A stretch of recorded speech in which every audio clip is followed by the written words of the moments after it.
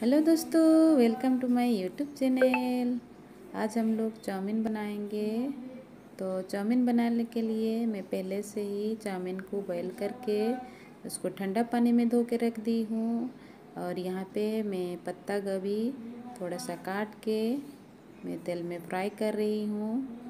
और इसको हल्का सा सोते करेंगे, ज़्यादा फ्राई नहीं करेंगे।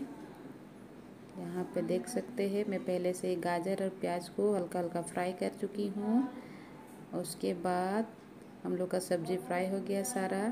और यहाँ पे मैं कढ़ाई में दो चम्मच रिफाइन का तेल ली हूँ और इसमें थोड़ा हल्दी पाउडर में डाल रही हूँ। उसके बाद इसमें ही मैं अंडा जो है उसको फ्राई कर लूँगी।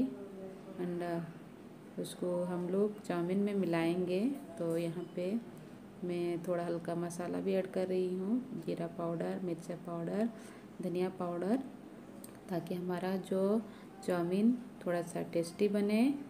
तो सारे मसाला को इस तरह से तेल में मिक्स कर दी और यहाँ पे आप देख सकते हैं, एक अंडा में ली हूँ, उसको इसी तरह से फोड़ के डायरेक्ट कढ़ाई में डाल देंगे। यहाँ पे मैं दो अंडा यूज़ कर रही हूँ। आप चाहे तो आपके पसंद से, दो तीन जितना भी आपको पसंद है, उतना अंडा यहाँ पे ऐड कर सकते हैं। तो मैं यहाँ पे दो अंडा ऐड कर रही हूँ और उसको अच्छे से भूंज लेंगे, अच्छे से। जैसा एग का भुजिया बनाते हैं, उसी तरह से थोड़ा से स्वाद अनुसार नमक डाल के उसको अच्छे से भूंज लेंगे। इसी तरह से मैं जैसे भूंज रही हूँ, इसी तरह से इसको अच्छे से भूज लेंगे, अंडा फ्राई कर लेंगे। और इसको हम लोग चाउमीन में ऐड करेंगे। आजकल तो करोना का टाइम है तो बच्चे लोग को बाहर का चीज़ हम लोग नहीं खिलाते हैं। तो जो भी मन होता है, उसको मैं घर में बना के देती हूँ बच्चे लोग को। तो हमारा अंडा भुजिया बन के रेडी हो गया है, इसको एक बर्तन में निकाल लेते हैं। तो इसमें मैं दो चम्मच रिफाइन का तेल ऐड कर रही हूँ। और इसमें मैं जो चाउमीन पहले से ही गर्म पानी में उसको बॉईल करके हल्का सा ठंडा कर ली हूँ। उसको अभी यहाँ पे मैं फ्राई करूँगी।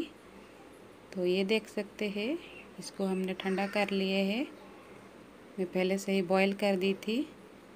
और आप ध्यान दीजिएगा, जब आप ये चाउमीन बॉईल करेंगे तो हल्का सा आप चम्मच इसमें तेल ऐड कर दीजिएगा पानी में, ताकि जब चाउमीन आप निकालेंगे तो आपका चाउमीन चिपकेगा नहीं।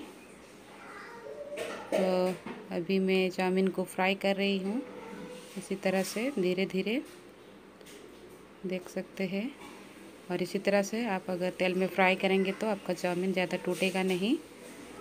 तो यहाँ पे मैं स्वाद अनुसार नमक डाल रही हूँ। ये देखिए, और ये चाउमीन एकदम सिंपल तरीका से मैं बना रही हूँ, लेकिन बहुत ही स्वादिष्ट बन के रेडी होगा। आपको बाहर में चाउमीन खाने का कोई ज़रूरत नहीं पड़ेगा। घर में आप घर में चाउमीन बना के खा सकते हैं इसी तरह से, और बच्चे लोग को भी खिला सकते हैं। तो हमारा चाउमीन जो है, वो फ्राई हो गया है। अभी जितना भी सब्ज़ी मैं यहाँ पे फ्राई करके रखी थी, उसको यहाँ पे हम लोग ऐड कर लेंगे। देखिए, सारे सब्ज़ी में इसमें ऐड कर ली, और देखिए हमारा चाउमीन कितना अच्छा से कलरफुल बन गया है। ये देखिए, कितना सुंदर लग रहा है। तो उसके बाद मैं यहाँ पे जो अंडा फ्राई करके रखी थी, उसको भी ऐड कर लूँगी। और उसको अच्छे से मिला लेंगे। यहाँ पे मैं बहुत ज़्यादा ही थोड़ा सा चाउमीन बना रही हूँ तो थोड़ा दिक्कत भी हो रहा है इसको मिलाने में। देखिए, हम लोग का चाउमीन अच्छा से मिक्स हो गया है। और हम लोग का चाउमीन बन के रेडी हो गया है। उसको निकाल के लाए हैं यहाँ पे और अभी सर्व कर रहे हैं खाने के लिए। और आप उसी चाउमीन के साथ ही सॉस मिला सकते हैं लेकिन नहीं तो आप बाद में भी सॉस प्लेट में ऐड कर सकते हैं। आपको जैसे पसंद है उसी तरह से सॉस यहाँ पे ऐड कर सकते हैं। तो मेरे पास चिली सॉस नहीं है। खाली टमाटो सॉस है। आपके पास अगर चिली सॉस, सोया सॉस होगा तो उसको भी ऐड कर सकते हैं। तो मेरे पास चिली सॉस और सोया सॉस नहीं था तो मैं खाली टमाटो सॉस से ही बना रही हूँ। हाँ और आपको मैं बोल, बोलना भूल गई थी कि जो चाउमीन का मसाला मिलता है पैकेट में, उसको भी उसी टाइम ही ऐड कर देंगे जब सब्ज़ी ऐड करेंगे। तो हम लोग का जो चाउमीन है, बहुत अच्छा टेस्ट आएगा उसमें। तो यहाँ पे हम लोग अभी टेस्ट करेंगे इसको चाउमीन को। देख सकते हैं कितना कलरफुल लग रहा है ये चाउमीन। आप लोग भी इसी तरह से घर में बनाइए और बच्चे लोग को खिलाइए। बच्चे लोग बिल्कुल भी बाहर का चाउमीन खाना छोड़ देंगे।